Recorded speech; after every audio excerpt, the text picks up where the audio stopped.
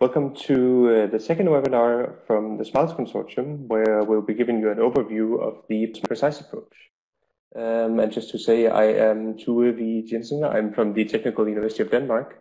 I'll be hosting and uh, taking you through our webinar. So I see a couple of names that I recognize from our previous webinar. So just to pull up the main takeaways from that webinar is that the simulation tool chains that we have when we're doing these energy system uh, research simulations are highly individual. And they differ largely in scope and scale and purpose. And the other thing we saw was that there is great potential in combining different approaches. And we indicated, for example, that if you're doing national scale scenario planning, there might be an interest in including some local multi-energy system concepts within your national scale scenario planning.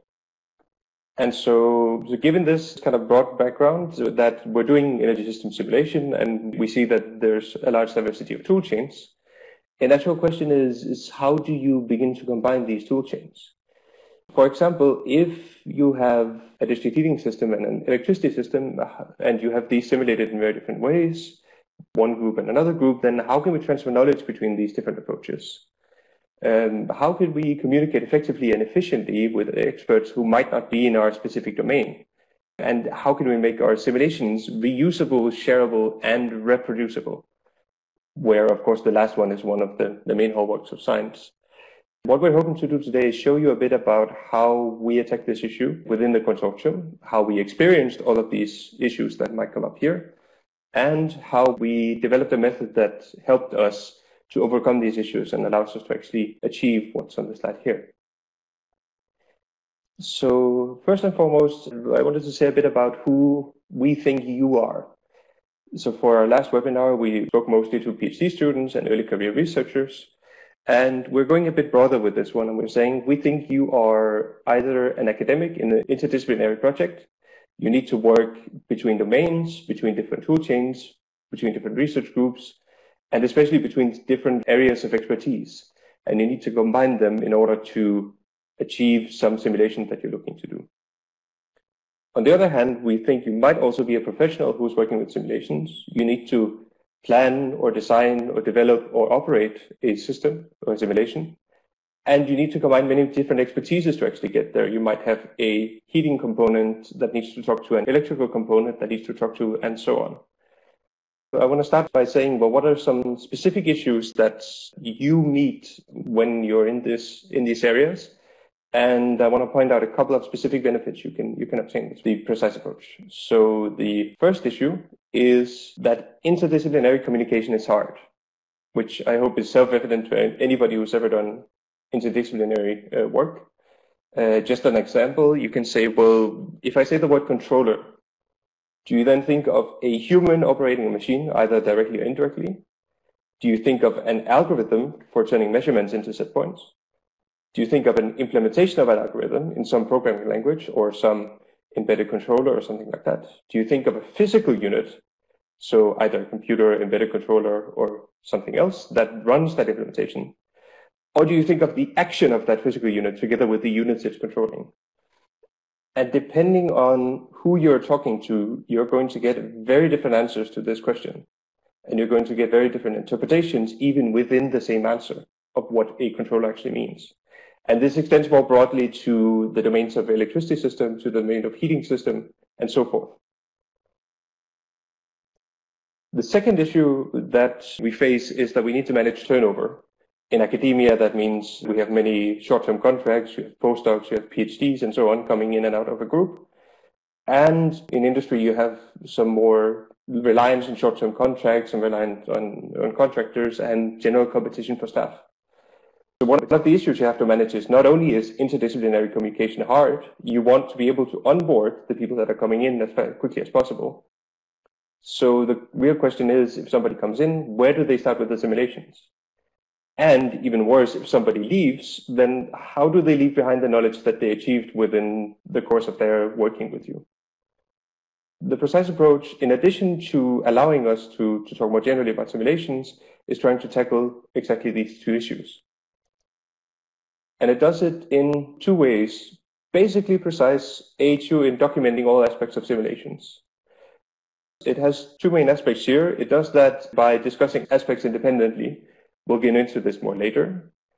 But uh, basically, it separates the purpose of the simulation, the input for the simulation, and the implementation of the simulation. It's especially designed for cross-disciplinary teams, and one of the big benefits is that it makes some of the assumptions you have about your system explicit. Further, because it's a documentation of uh, all aspects of a simulation, you can use it as an onboarding tool. You can essentially give someone a description of a simulation in the precise framework, and they'll be able to learn from that and, and figure out exactly what the simulation is doing, how it's doing it, and so on. You can use it to build a repository of existing knowledge. And if somebody's already documented something in a precise approach, you can leverage that work to build your own simulations based on it. So for the webinar, there are two main sections. The first section is going to be a general overview and introduction of the precise approach. We'll look into the different aspects of it. And the second section is going to talk about how we in the project have implemented the precise approach, some of the main takeaways we've learned from it, and some of the highlights of using method in, in our case. And then finally, we'll go into summary and questions. And the final thing I want to say before we get started is that we're going to be presenting this method as one monolithic process in documentation. But in practice, we actually find that it works pretty well if you take a portion of the method and you apply that portion at the time when that portion is useful for you. So if you need to discuss a specific component in your model, it might be useful to just document that one part of the component. You don't need to go into the full precise approach description. Please keep in mind that even though we're going to show you all the parts, we find that you can actually take the parts and use them in a modular fashion. And with that, let's get started on the methods. I will start by giving you the overview and the initial uh, bit of information on it. So the precise method in a nutshell separates three main things about your simulation. It separates the why, that is the purpose and the goal of your simulation. It separates the what, that is your simulation inputs or some other portions of your simulation internal description. And it separates the how, which is all the toolchain specific implementation so at the end here, you're going to have a tool chain that you put all these inputs into and that you fold your purpose into and you end up running and you end up doing data analysis. We're not going to get much further into that here, uh, and because that is very toolchain specific. So if you're looking for ideas on how to do the how part of the precise method, we refer you to the first webinar we hosted on the topic. In each of the boxes above, the why and the what there are several different components, and the remainder of the webinar will go through all of these components and try to give an idea of what's contained in there and why do they exist in the method. First, in the why, you have a test case that's a combination of a use case, a generic system configuration, key performance indicators, and an objective function. And we'll fold those out in more detail and talk about why they're in there and what they do. In the what's, you have a combination called a test specification. Here you have a specific system configuration, you have some input data, you have some component models, and some control functions. And by combining these, you are able to describe your simulation in a way that is independent of your toolchain. And exactly that independence is important because that means when you describe the why and the what separately from your toolchain, your simulation description is not tied to the specific toolchain you choose. And independence is a main keyword here because our method is threefold independent. The why is mostly independent of the fact that you are doing a simulation. So that means you can take a why that you've described in the precise approach and you can apply it in other contexts. For instance, you can apply it to a real life experiment. You can apply it to a discussion that you're having without needing to build a simulation. Likewise, the what is mostly independent of how you intend to put your simulation into a computer. And so what that means is you can take a why and a what, you can take them together, and then you can put it in different tool chains. And we'll show you an example at the end of the webinar of how we've done that in the project. Finally, you have the how, and even though it's toolchain specific, it's still independent of the why and the what. in the sense that using the same approach for putting something into a toolchain, you can decide to change your why and your what and still apply how you build the how. And so given these three dependencies, you get a separation between the different parts. You get a separation from the toolchain. You get a separation from even from a simulation in, in the first place. And this analysis of your problem allows you to precisely document what is happening in each portion. The most fundamental thing when you have a simulation here is talking about the why, because in the end, the reason you're doing a simulation is not because you like doing simulations, typically anyway. It's typically because you're intending to achieve something. And the thing that you're intending to achieve is the use case. And the use case essentially says, what is the intended functionality of your system? To whom is it valuable that the system has this functionality? And typically a use case is formulated as a thing the system does when it works in the intended way. That is, we don't talk about how does the simulation work, we talk about what does the system do given that we've developed it and we've put it in the real world and it's running perfectly. And the idea of a use case is to try to encapsulate the why in one sentence, after which the other sections of the why can be expanded upon in other sections. So as examples of use cases, these are actual use cases written by partners of the project. You can talk about having grid-friendly operation of conversion and storage appliances. You can try to coordinate the operations of district heating and electrical power system. Or you can have a market-oriented operation of conversion and storage appliances. And so really in this one sentence, you get the broad scope of what is your simulation trying to show or do or evaluate or design or plan. What is the reason that the simulation exists? And so in order to document that, the precise approach gives you a template with several textual description forms covering, for example, the intended functionality. That's the formulations you saw before. You need to specify some of the related actors. If there's an electrical storage that you're describing, then you have to say a little bit about what do you expect that electrical storage to look like.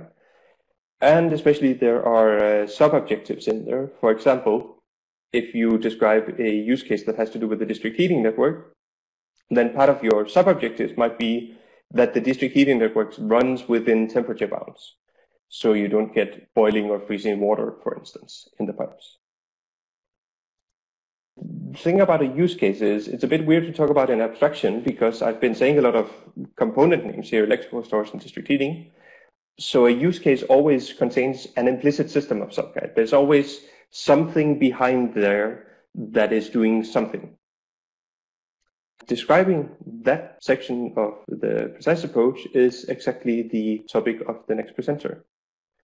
I will hand you over to Peter Valkering from VITO slash EnergyVille, and uh, he will discuss how system configurations work in the, in the context of a precise approach. You introduced it already, so thanks for that. So the talk was uh, called Mapping a System Configuration. The first thing I would like to do is to specify what we mean with a system configuration.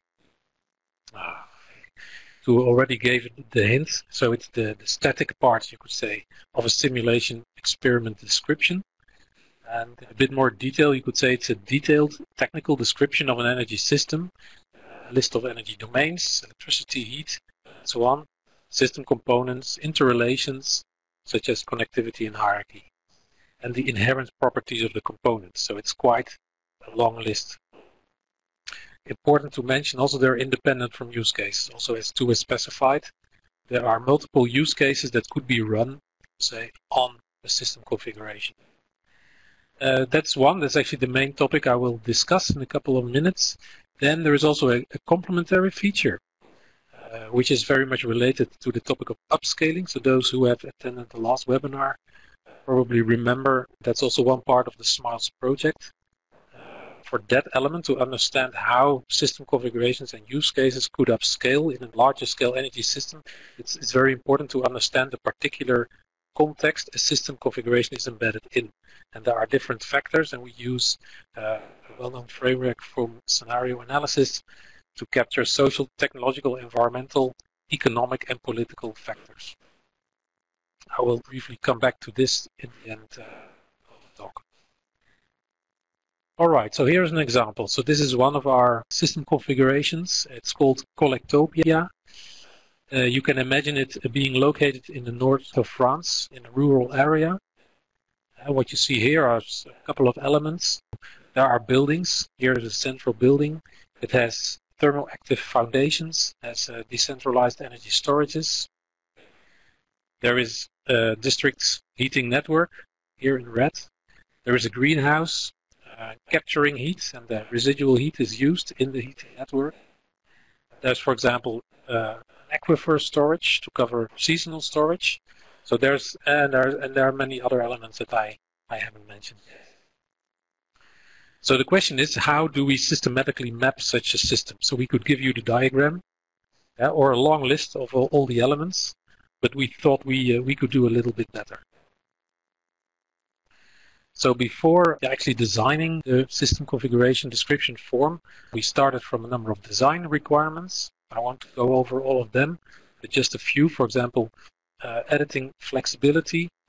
Uh, yeah, that basically means that we wanted to keep it flexible. So that for us implied that it needed more or less qualitative description of the different elements, connected also then to uh, numerical descriptions in the form of machine readable data.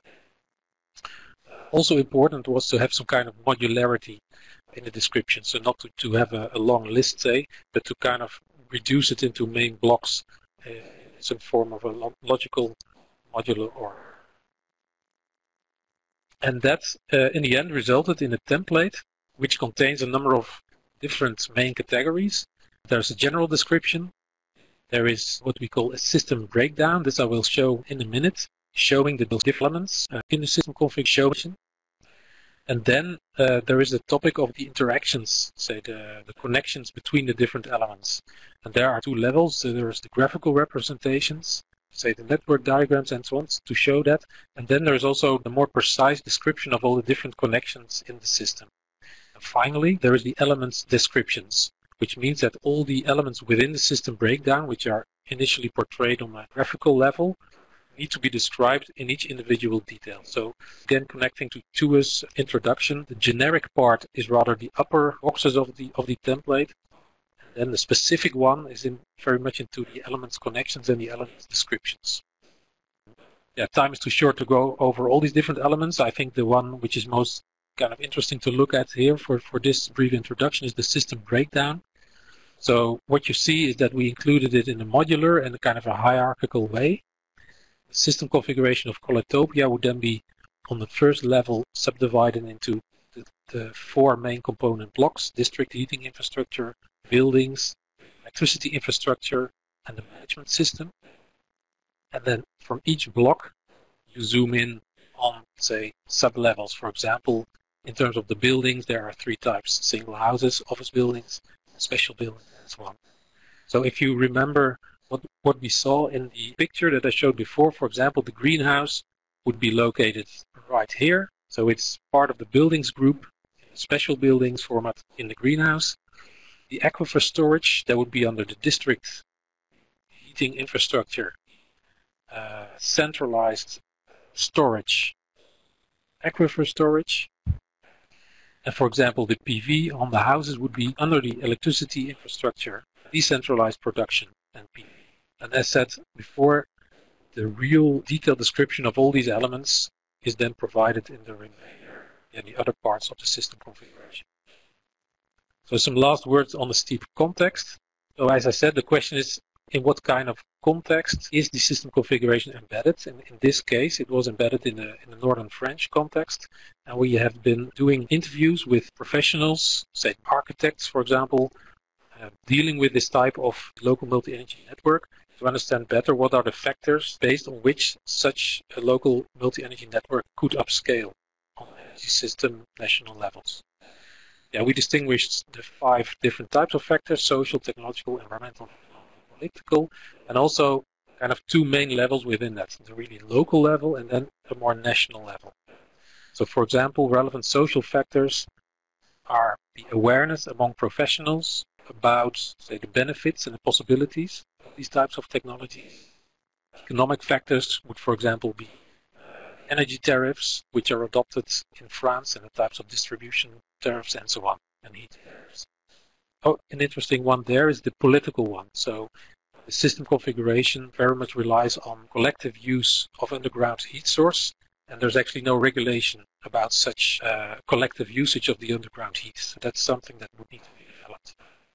On the local level, there are other factors of importance, like community feelings, which can be very important to collectively manage such a system, are important. They are generally stronger in rural villages than, for example, in big cities. And also in the economic factor is relevant there as there is some level of economic decline in that area and then the development of such networks is considered important to revitalize the area. That's my introduction to the system configuration and then I would like to hand over to Benedikt to further discuss the test case. My name is Benedikt Leitner. I'm working at the Austrian Institute of Technology, and I will now go into more detail of what we do with the precise approach. We already heard about the system configuration and the use case, and I will now talk about how we, for example, quantify the performance of a system or a component in the system we normally use key performance indicators for that. So you might have the total costs for district heating. Um, this is obviously an economic key performance indicator. It describes thermal networks. You can give some kind of calculation how you calculate the key performance indicator given your simulation results. So we use this example to have a formal description of key performance indicators to not only deliver the calculation, but also some meta information about the key performance indicator. So a textual definition of the KPI, the name and the context where it is used, the group and domain to which it belongs, a clear definition and a mathematical formula to calculate it. Also some insight into the data requirements that you have to be able to calculate this key performance indicator. So for example, the expected data source, the collection interval of the data and reliability of the data that allows you to calculate this KPI. Another thing that you regularly use uh, in describing systems is an objective function. Um, so something that you want to optimize for the system. This might be the total costs for heating and also maximize the consumer comfort. So you might have your objective function that combines the two and tries to minimize the total system costs and also, for example, a room temperature deviation from, from a reference. So basically the objective function combines two key performance indicators and tries to, to optimize them. Again, we tried to set up a documentation form or description form that allows you to describe your objective function, uh, including all the meta information, the name of the objective, the context, also described textually, the group level and the domain where it is used, the intended use of the, the objective function, the mathematical formulation and calculation, what kind of optimization it is, is it linear, is it mixed integer, and how to, and also the uh, most important constraints that come with the objective function. We see that the key performance indicators and the objective function somehow coupled or tightly connected, and we use this conceptual breakdown of the optimization problems into these three are used in the objective function and an optimization method, which is already something that might be toolchain dependent. And using this conceptual breakdown between the three parts increases the modularity and flexibility of the formulation of such an optimization problem. So we are now able to uh, define a test case given the system and the use case and the key performance indicators and objective function. We now want to test our system. So for example, we want to characterize the self-consumption of photovoltaic generation for a local energy community. So this might be our test case. The system configuration might be uh, multiple buildings with a heat and a power demand and PV generation. The use case being that we want to increase the use of local photovoltaic generation using power to heat.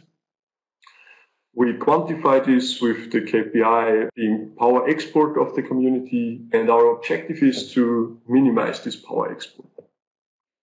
So basically what the test case now does is that it asks the question, why do we combine the use case, the system configuration, the KPI, and the objective function? And it glues those components together and gives us the, a detailed idea of how we can test the system performance given its expected function. But until now, the test case is an abstract idea and we have to further specify this test case. This is done in the test specification. And the test specification further specifies what we are actually considering. So how the system looks in detail. For example, the specific system configuration. Until now, we only had an idea that there are some buildings, but now the specific system configuration specifies that there are five buildings. Uh, the buildings have this and that heat demand with this and that input data. For example, load profiles or weather conditions are given. Buildings are uh, described using this component model. And for example, the power to heat units are controlled by this model predictive controller that is documented in the control function. So what the test specification does, it further details the test case and it defines the means and methods under which the test case is carried out and evaluated.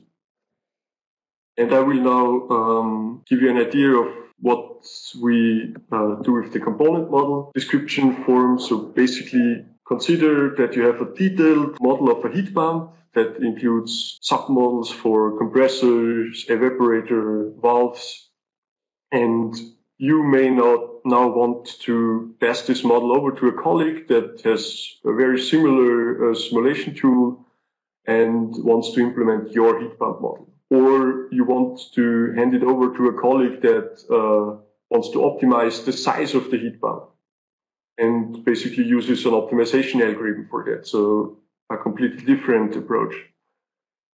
And you can now use this uh, component model documentation form that documents the component model again, toolchain independent to describe your model in every detail and also toolchain independent again. So basically you classify the model, you give an idea of the intended application, you give an idea of the model dynamics. Is it continuous? Is it quasi-static? You give the governing equations of the model, you specify the inputs and outputs, the variables and parameters, uh, the initial conditions. And what's also important in the component model is that there are test cases for the component model that basically give you, for example, for the heat pump, uh, heat load profile, um, under which this model is being tested, and you also provide the results for this test case so that your colleagues then can use this test to have a reference under which they can uh, basically test their own model implementation in their simulation tool and compare their model implementations. So basically you can use this documentation form for the components to document your model toolchain independent and your colleagues that receive this model description can use the model description form to understand your model, to implement it into their tool, tool chain in a way that it is still comparable to your model implementation. So at the right graphic, you see on the top an example for a toolchain that is very similar to your toolchain. So if the recipient also has a detailed uh, simulation model for a heat pump, and he now wants, wants to validate his model against your reference test case, then he will go for this model validation and use your test result to validate his model. Or you'll have a colleague that does optimization, which might be different to what you did in your simulation tool. And your colleague is fine if the model is basically harmonized against yours so that it has similar results, but of course, maybe not with the same level of detail as, as we already saw in the example I gave for the heat pump.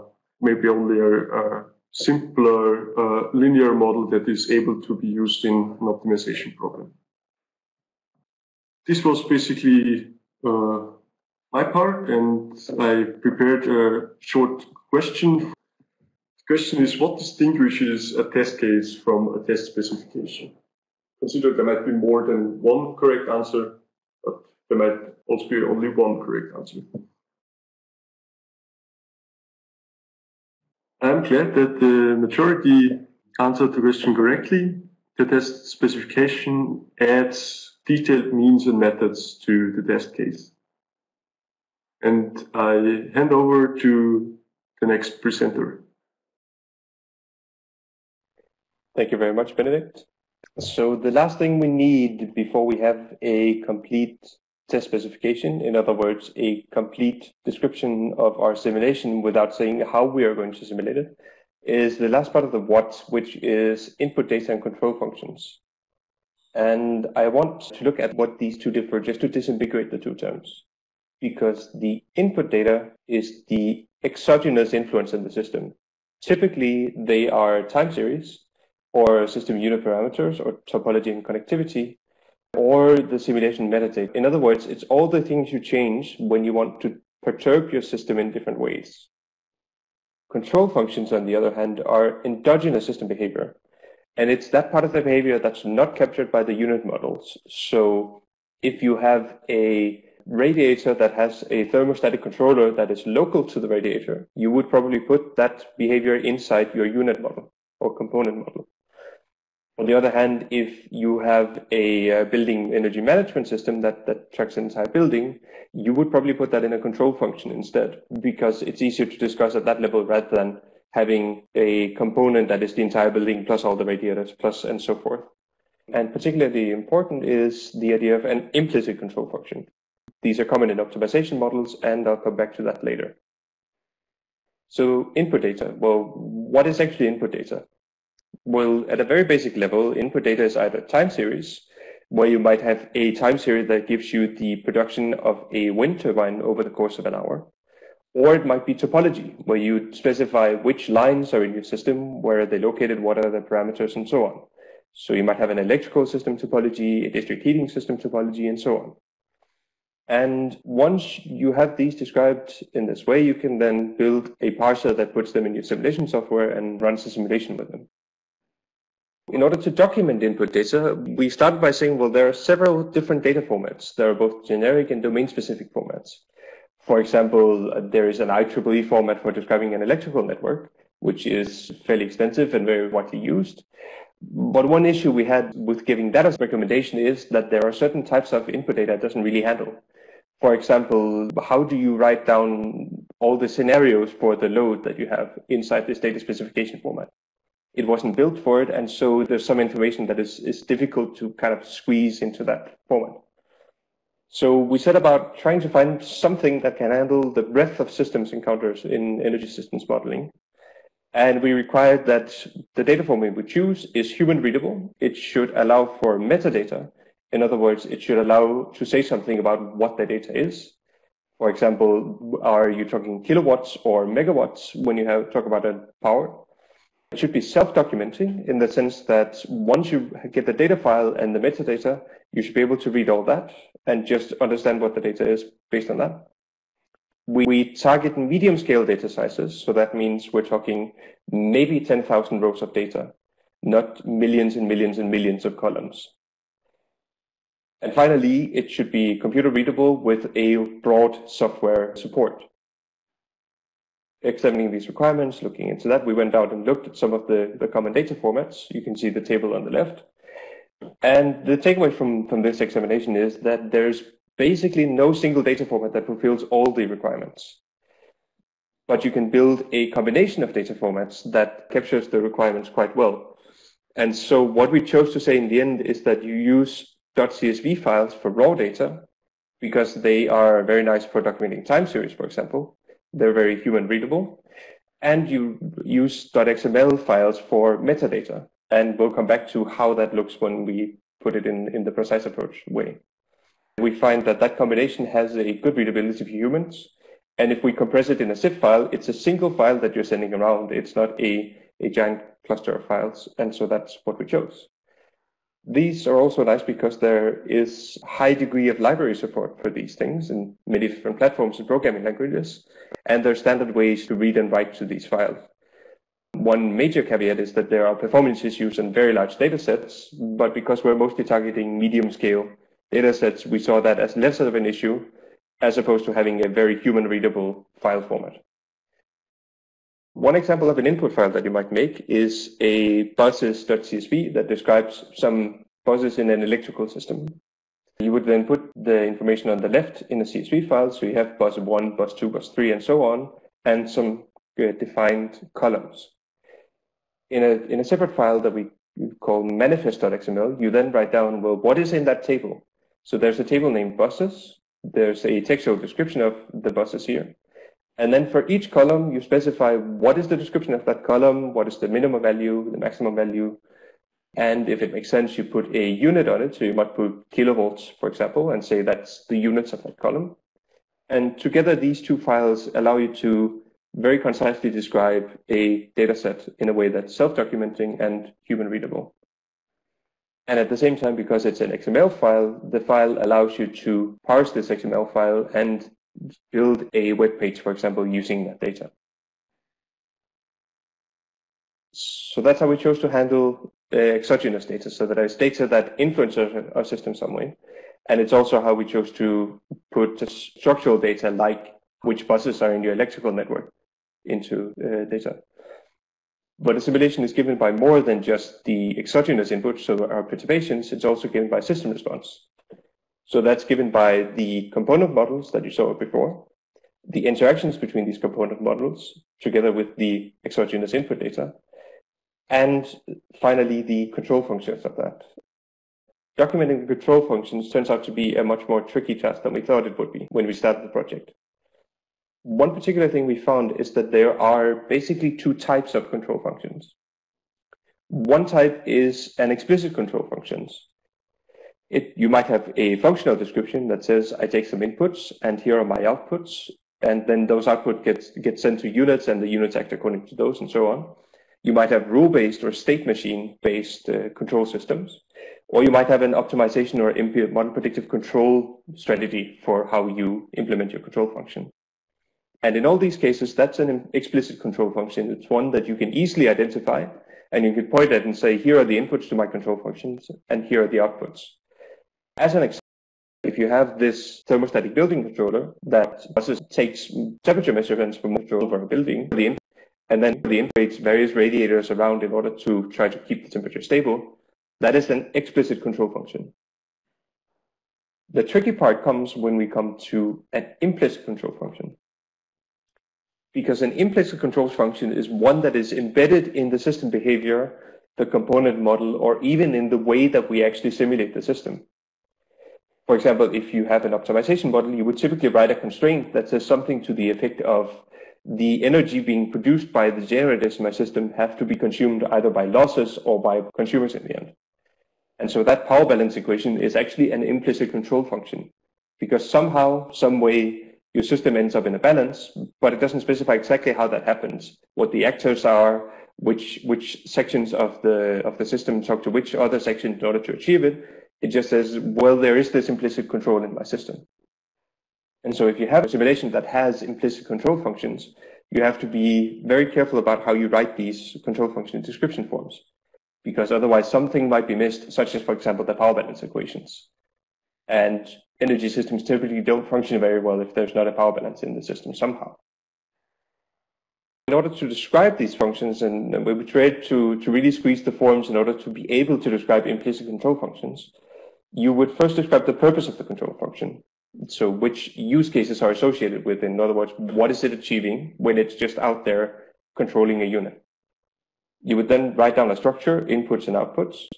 In the case of an implicit control function, that would be typically a combination of inputs and outputs, so a balance between inputs and outputs.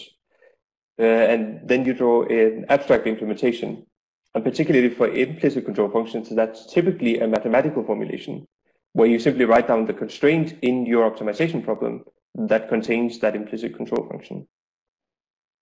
And together these allow you to describe it and they allow you to talk about it. And in particular, they allow you to make choices about how you are going to switch from an implicit control function to an explicit control function and vice versa.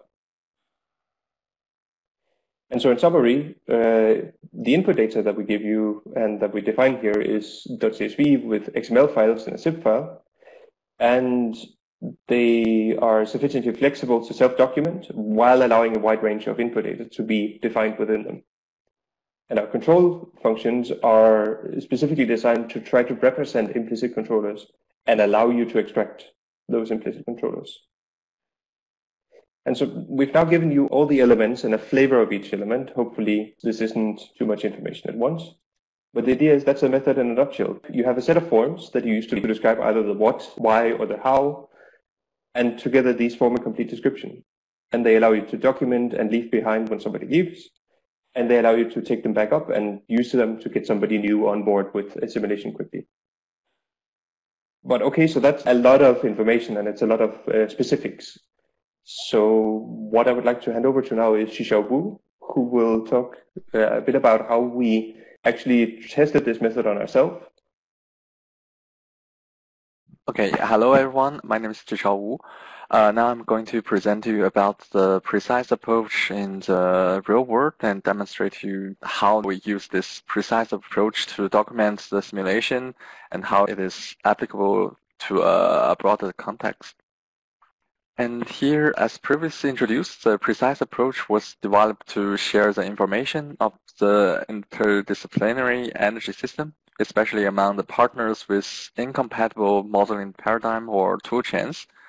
To verify that this approach is uh, feasible and useful, we conducted several cross-simulations among the partners, Smartdorf, Collectopia, and FlexOffice, and SmartFac, and Nohan. Uh, besides, we also did a test case to refine our description of why and what. With this test case, we implemented three different how with three different toolchains from AIT, DTU, and KIT. And AIT used a co-simulation approach, rely on functional mock-up interface specification. And DTU used the mosaik code simulation framework, and KIT used MATLAB and Simulink for the simulation. So this is our test system. Uh, the system configuration is like the left figure, and it's a simple multi-energy system consists of electrical and thermal domain. And our objective here is to optimize the size of this heat pump. Although we all model the same test system, our three different model departments, but there are still differences in our implementation in our respective toolchains. To compare our results, we identified three different level of details from the test, the time series, key performance indicators, and objective functions. The analysis of time series result is the most detailed one, but actually we don't need that lot of knowledge about this dynamic behavior of the signals. So we aggregate the information and define the set of key performance indicator to describe the main feature of the system. So in the test case, there are three KPI we defined, and we simulate the system and, and uh, analyze the difference of the KPI.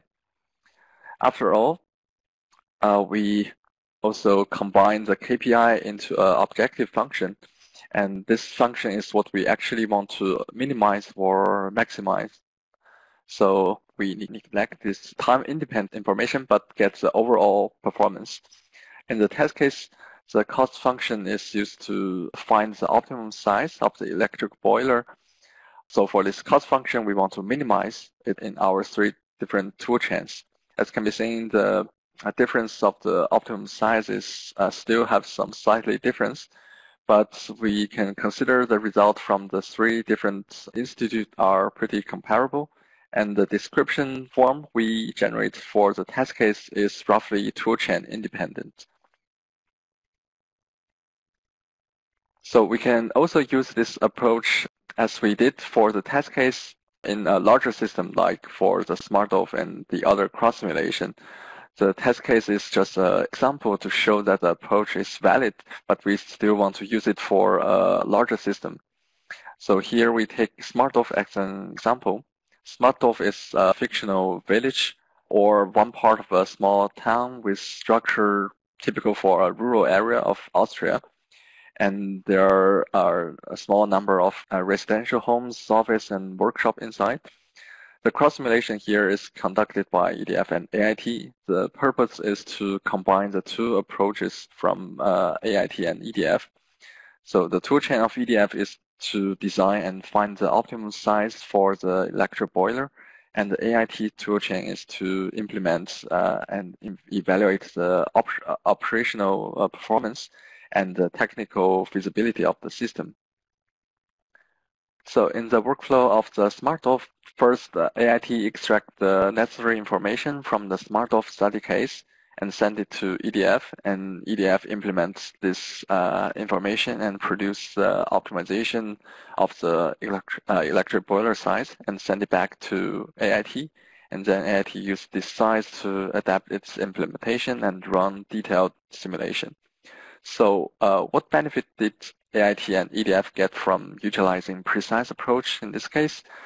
It supports the realization of the cross-simulation in two ways. First, it provides an intuitive separation of the most relevant part of the system, uh, for example, the control function, the system configuration, and so on. And this allows the partition of this part of the complex system into a smaller and easier understandable way. And second, the exchanging of data using SMILES format enables the exchanging of the data in a more readable and defined way uh, for both machine and human. That's my part for introducing you how we use the cross simulation to test the uh, feasibility and usability of our approach. Thank you, Xiao. So in summary, we used the precise approach and we showed you a bit about how it separates the why, the what, and the how of a simulation. And by doing that, we allow you to modularly and completely document your, the simulations that you're running. We've tested the feasibility and the usability within the project. We've shown you one example cross simulation and one larger scale, but we're conducting several others and you'll be able to access them. But in the end, all we're really giving you now is just a lot of facts and there are templates and you can fill them in. One thing we're doing as well is to make a software platform to help you along. So they assist with filling in the definitions and the templates, assist you with workflows for both documenting and disseminating data. This software platform is also going to act as a repository of use cases, system components, input data, and so on. So for all the partners here, we are all going to put our simulations into precise form and put them on the software platform. If you use the software platform, you'll be able to download all of that data and apply it in your own simulations in all these ways. And the major benefit here is that it will allow you to apply the FAIR principle to your simulation to make it findable, accessible, and reproducible. And so watch this space. We will let you know when this software platform is coming on. Thank you.